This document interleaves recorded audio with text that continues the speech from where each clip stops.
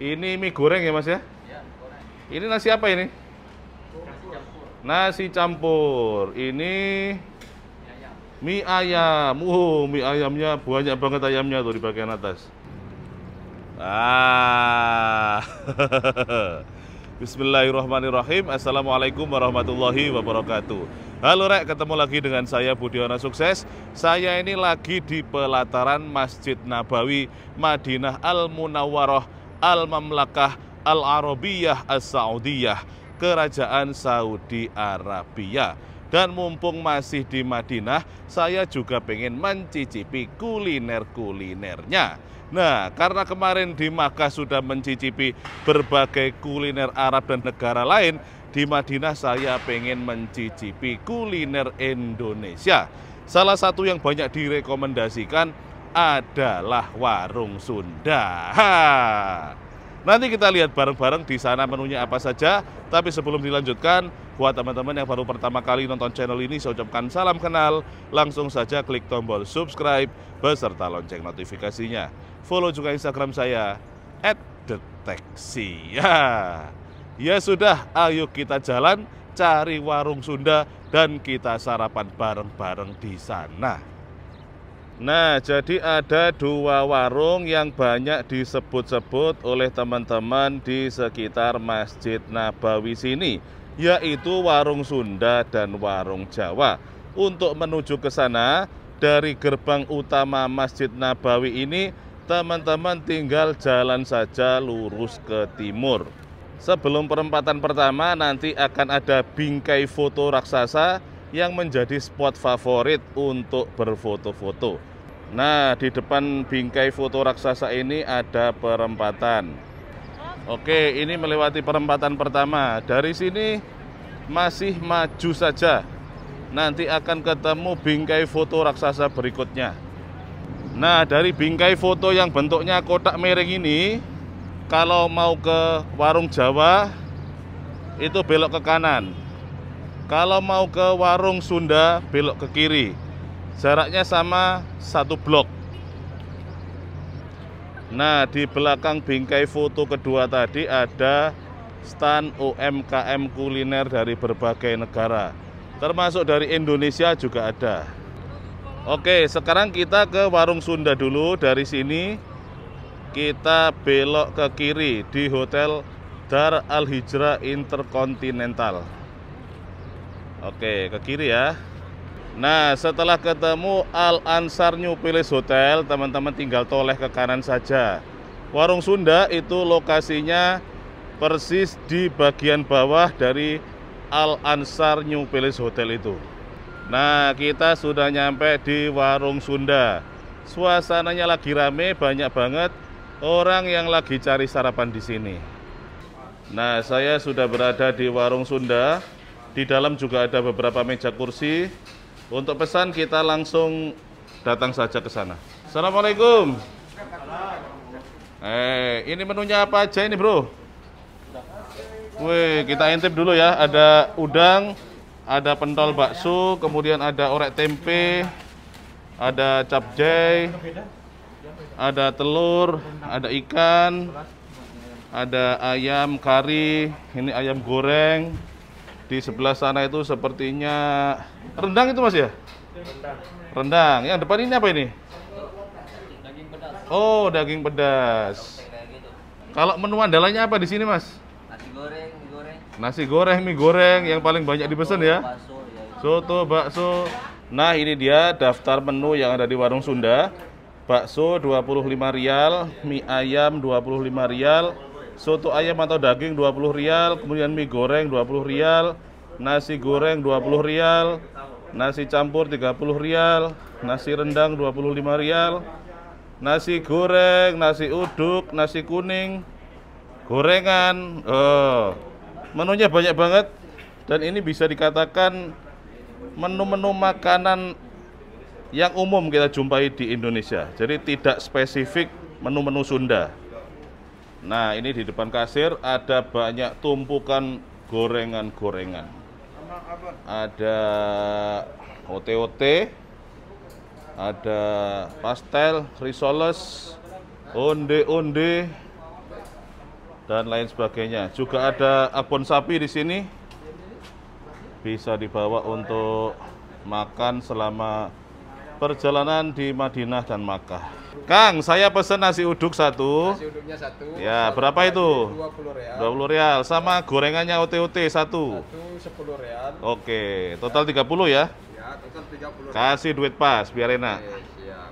Terima kasih. Ini makan sini mau bungkus. Makan sini dong. Ngomong-ngomong ini yang punya orang Sunda betulan apa gimana? Ini yang punya orang Arab tapi juga ada orang Indonesia satu. Oh, yang punya orang Arab Ya. bekerja sama dengan orang Indonesia ya.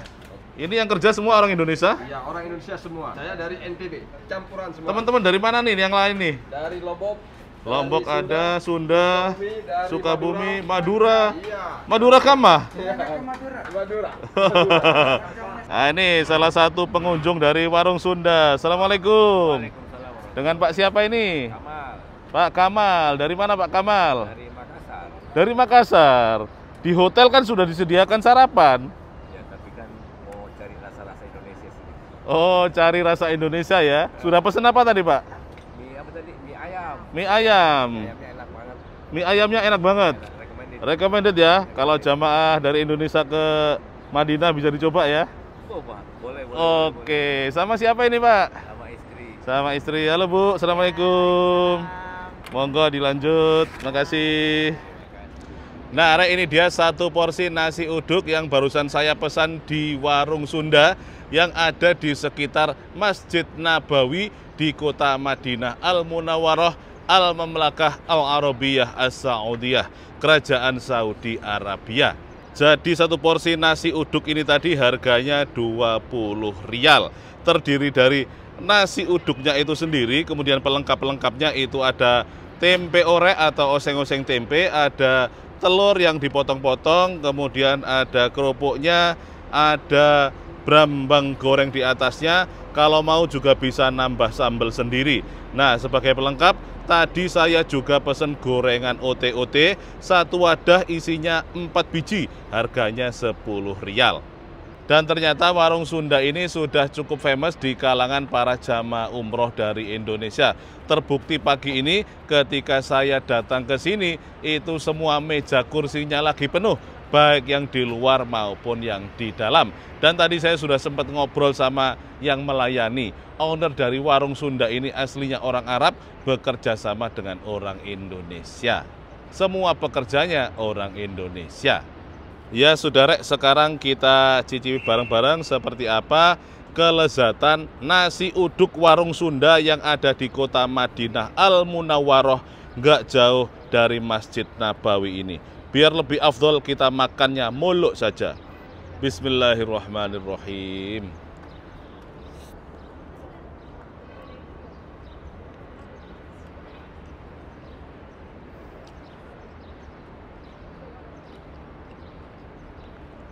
Hmm.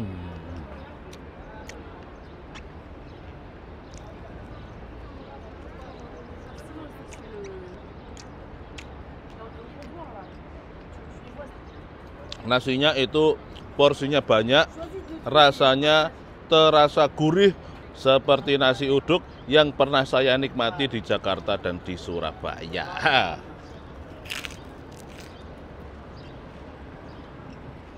Hmm.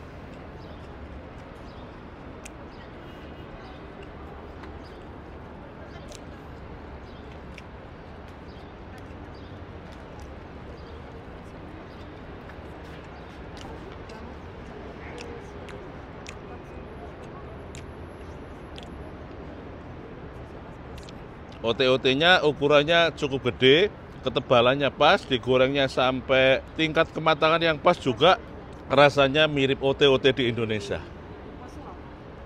Hmm.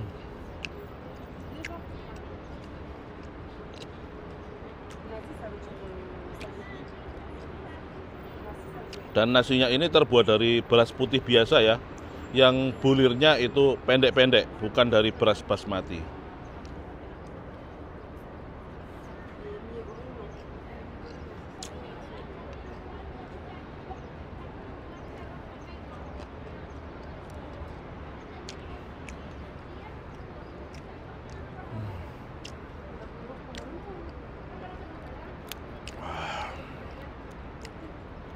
Masya Allah nikmat banget dan terharu rasanya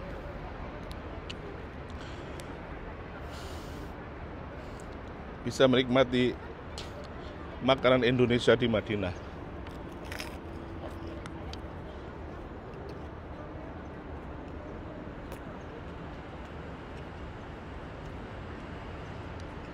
Oh ya, warung Sunda ini selain di sini yang berupa warung itu juga ada di sentra UMKM kuliner lurusnya gerbang utama Masjid Nabawi ke timur terus. Yang di sana itu ada berbagai macam stand kuliner dari berbagai negara. Kalau di sana itu tidak ada meja kursi seperti ini. Kalau beli bisa dibawa pulang, dimakan di hotel atau antri duduk di meja kursi yang ada di pinggir-pinggirnya. Hmm.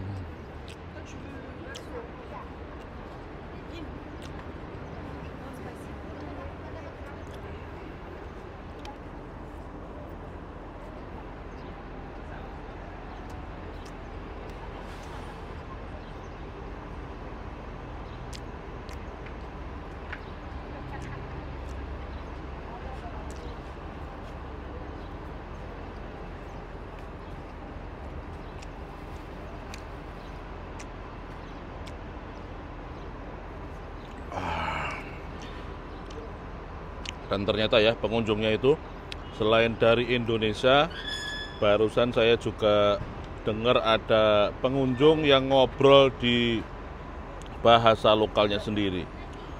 Mungkin ya karena dengar kemasyhuran nama warung Sunda mereka penasaran pengen mencoba masakan Indonesia.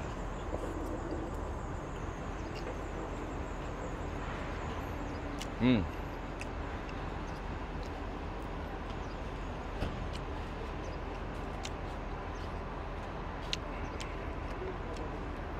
cabai hijaunya yang gede tadi ternyata tingkat kepedasannya tidak terlalu pedas tapi sudah pas jika digunakan sebagai lalapan ketika menikmati ote-ote hmm.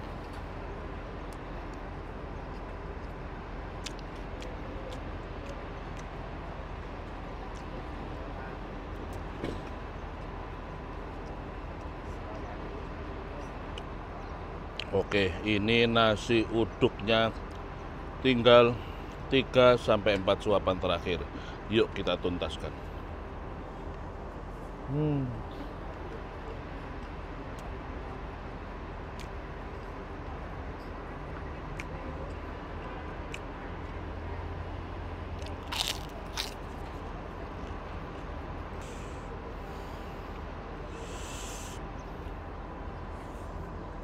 嗯。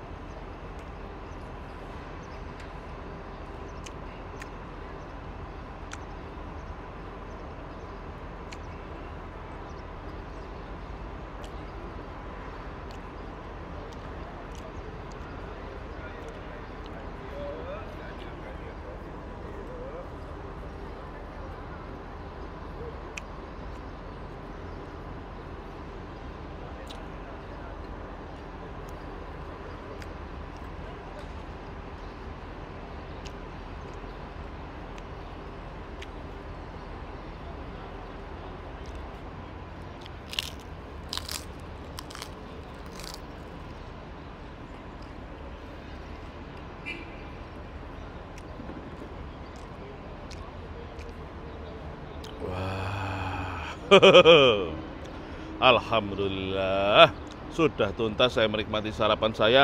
Satu porsi nasi uduk dan satu paket gorengan OT-OT dari warung Sunda yang ada di sekitar Masjid Nabawi Kota Madinah Al-Munawwarah Al-Mamlakah Al-Arabiyah As-Saudiyah Nah, rek jadi satu porsi nasi uduk yang barusan saya nikmati di warung Sunda di kota Madinah Al Munawwaroh ini harganya 20 rial atau sekitar 90 ribu rupiah. Sedangkan gorengan OT-OT-nya 10 rial, isinya ada 4 dan 2 cabai sebagai lalapan.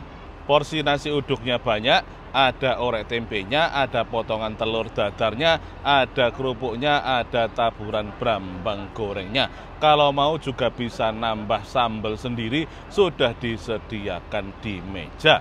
Dan menurut saya rasa nasi uduknya benar-benar mirip dengan nasi uduk yang sering saya nikmati di Surabaya maupun Jakarta. Kalau suatu saat teman-teman berkesempatan melaksanakan ibadah umroh maupun haji, saya doakan semoga teman-teman berkesempatan langsung datang ke sini untuk mencicipi sendiri seperti apa rasanya. Ha.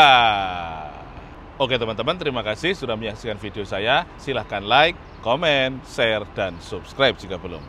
Tetap sehat, tetap semangat, tetap berpikir positif, terus berbuat baik, dan tetap berhati Indonesia. Semoga kita semuanya semakin sukses. Dari Madinah Al Munawwaroh. Dadah.